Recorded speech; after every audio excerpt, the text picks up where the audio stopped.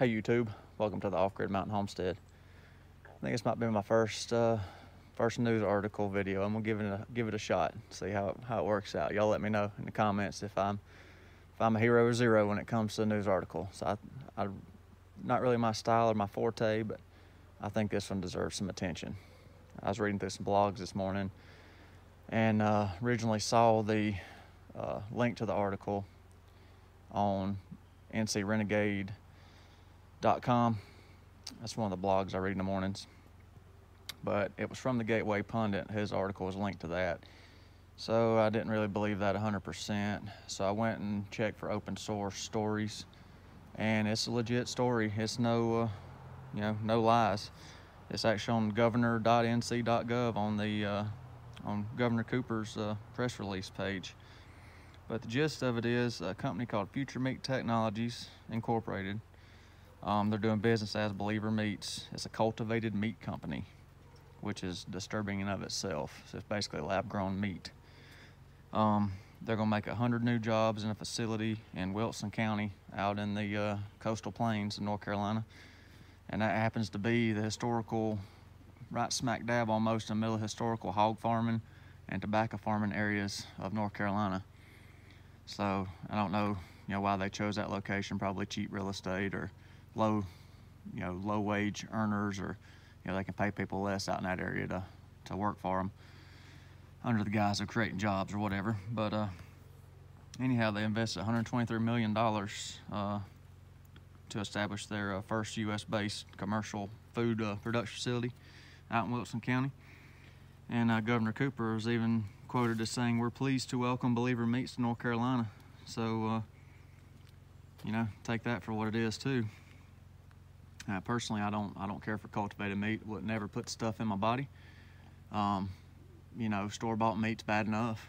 It's got enough chemicals and enough stuff in it, but that's another topic for another day. I'm not going off on a tangent, so let me get back on course.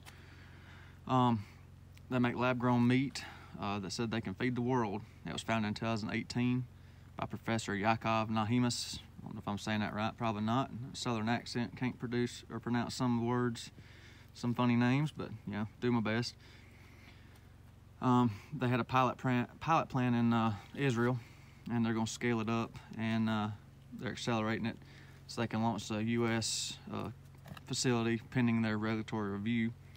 And uh, they want to uh, quote believers on a mission to ensure that future generations can enjoy the meat we know and love today.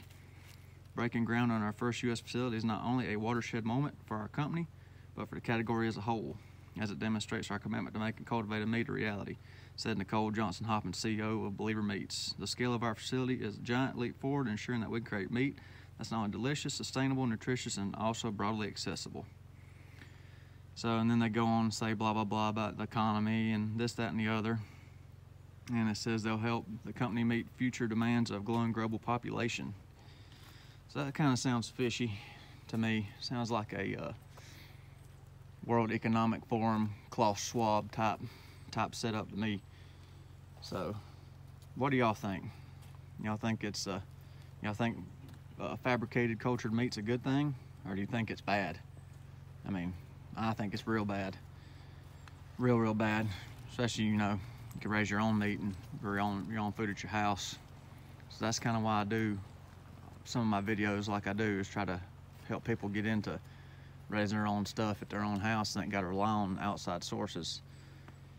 But uh, they've got several grants uh, from from different organizations, and I'm gonna put a link to uh, to the governor.nc.gov uh, release in this description of the video, so you can go through and read it for yourself. So yeah, I think it's a 100% legit article coming from the governor's uh, press website. So uh, you tell me what you think. I'd I don't like it. I think that's we're going down a, a wrong path.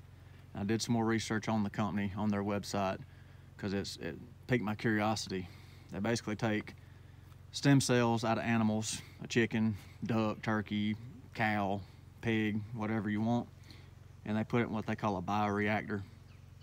And it goes in there and they grow, I think it was 10,000 pounds at a time in each bioreactor. And then they take that gel junk out Kind of reminds you of Soylent Green.